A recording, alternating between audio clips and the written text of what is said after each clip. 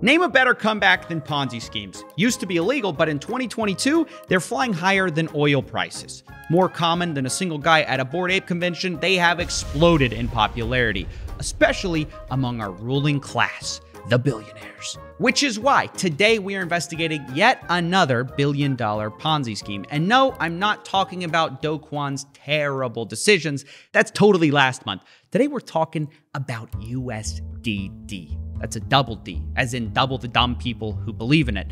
And like all Ponzi schemes, this one says it's different.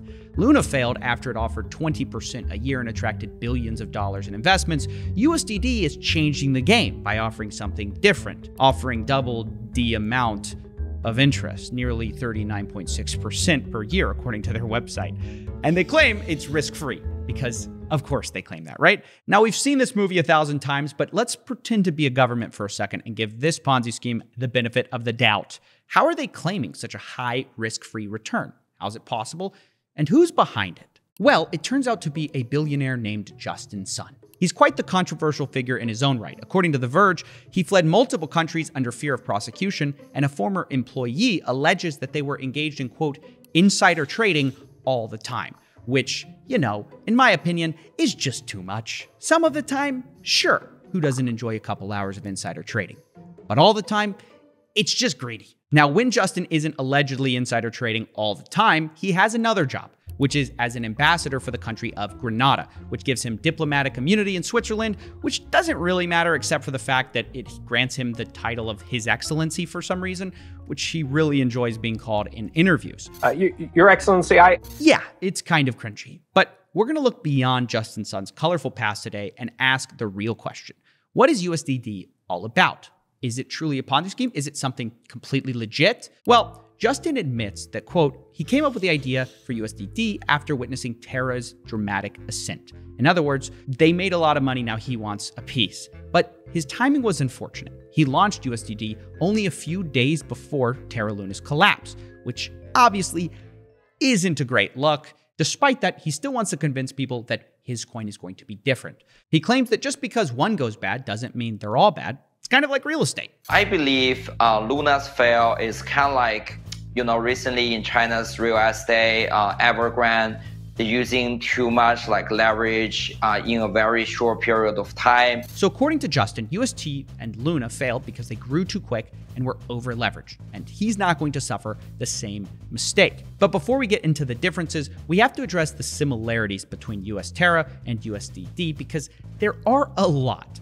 They both claim to be algorithmic stablecoins, which just means they rely on arbitrage to keep their value at $1. They both also offer insane rates of return, and both of them acknowledge this is probably unsustainable in the long term. But that's where the similarities stop and the differences begin, because obviously, US Terra has collapsed after accumulating billions of dollars.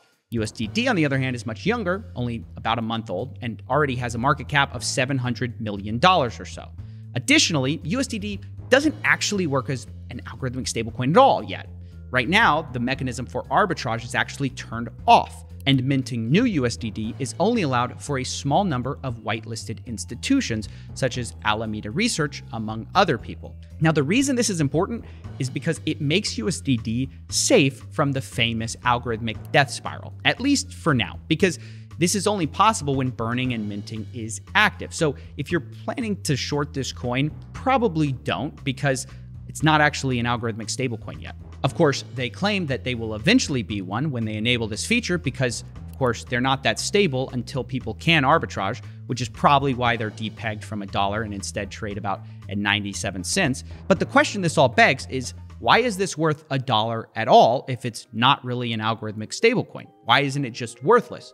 Well, the reason for that is something called the Tron DAO Reserve, which claims to back USDD with a bunch of crypto assets. In fact, they not only back them, they say, we've over collateralized. We have more than enough money to back up this USDD. And this is one reason they claim they're different. They're collateralized at 300% and promise they're going to use it to defend their money. They also link the associated addresses that have this $2 billion worth of funds that they say they have. And if this is all true, doesn't that make USDD intrinsically valuable if it really is backed by all this money? That's the logic, anyways. I mean, look at this chart they provide. They're the most backed of any coin. And some crypto YouTubers even think it's an ultra conservative investment. People should really be thinking of this as an ultra conservative, over collateralized stablecoin, not some risky algo stable.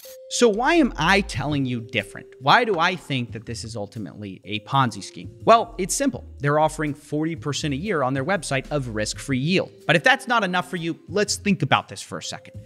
They're only over collateralized as long as this coin doesn't get super successful. Because over time, as more and more people invest in it, they don't just magically get more collateral, their collateral stays the same, which means that slowly, by their own success, they will become under collateralized and eventually death spiral like every other algo stablecoin.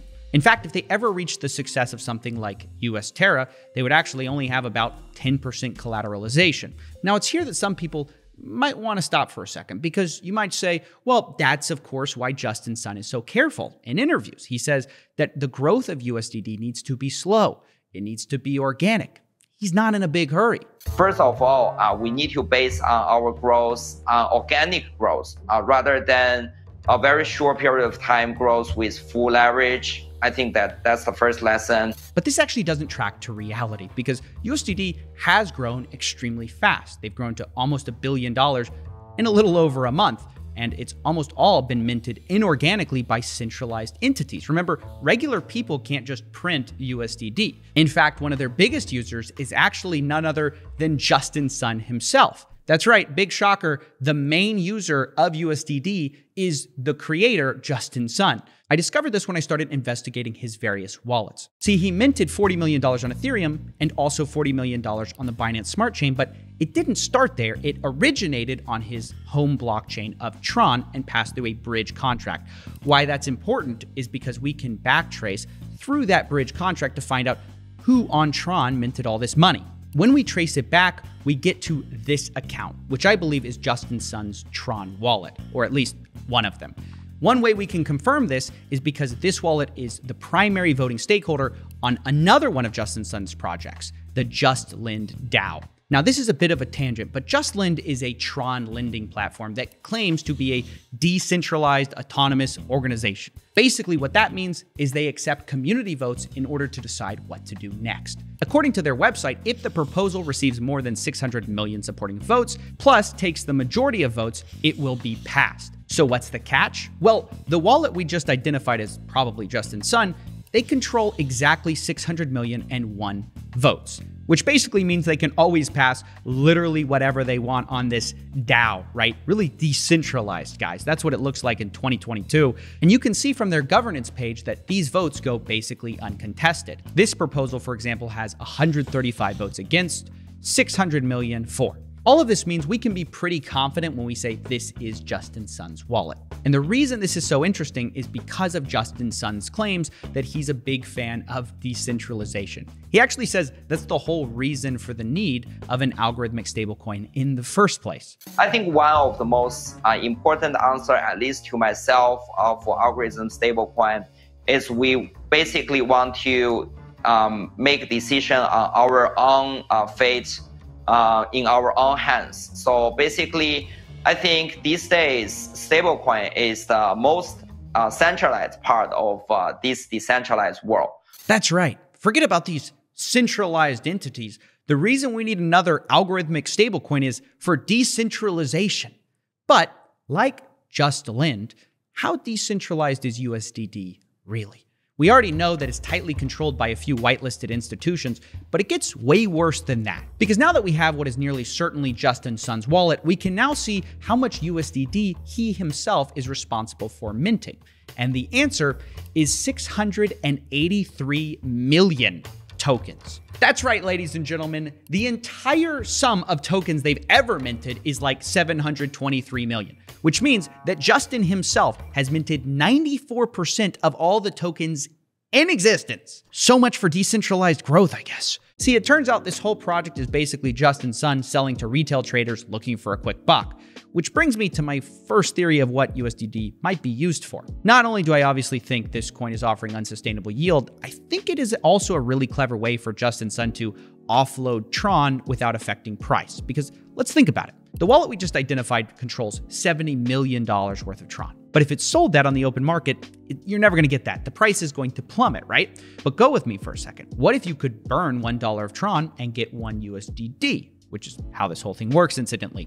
And then you sell that USDD for another coin without affecting price, like USDC. So long as you could bring in enough people willing to buy your new token USDD by maybe, let's say, offering them insane yields, you could actually cash out of your Tron without ever affecting the price of Tron. It's one way to actualize gains without tanking your own coin, which would be pretty smart if you ask me. But I have to say, this is speculation at this point. What we know for sure is that USDD is absolutely not decentralized. 94% of it comes from one wallet, and its supposed growth hasn't been organic at all. Nothing could be further from the truth.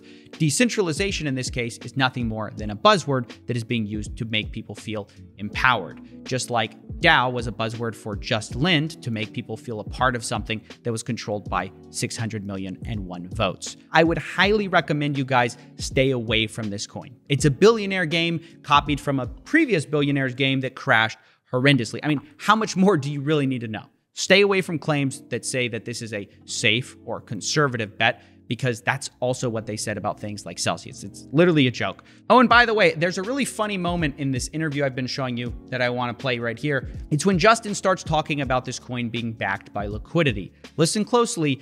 I think you'll be able to hear something in the background.